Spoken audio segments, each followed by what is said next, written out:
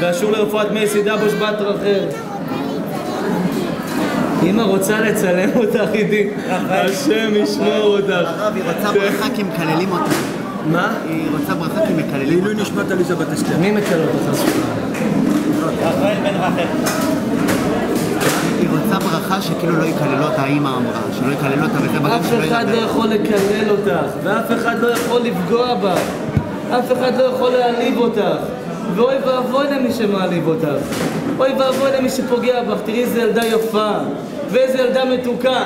אני אשאל אתכם שאלה, רבותיי, רבותיי, רבותיי, רבותיי, רגע, רגע, רגע.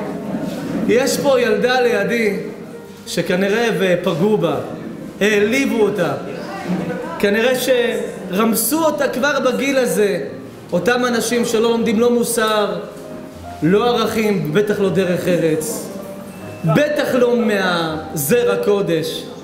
להעליב ילדה כזאת, איך אפשר? אני רוצה להגיד לך משהו בשם כולם, אני אשאל אותם, והם יענו, טוב כפרה? טוב? תסתכלי עליי, לא רוצה להיות בטוח במה שאני אומר, טוב? כולכם חושבים כמוני שהיא הכי יפה שראינו? כן! בטוח? ראית מה הם חושבים עלייך? רגע, אני אשאל את המות שלו, בסדר? נכון שהילדה הכי מתוקה שפגשנו? כן! עוד שאלה קטנה. אפשר רגע להגיד לך משהו באוזן שאלה בוא.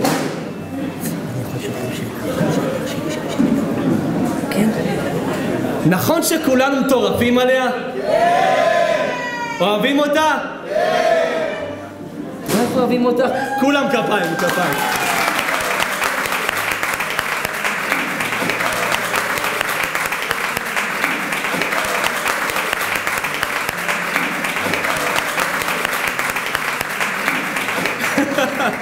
איך אפשר?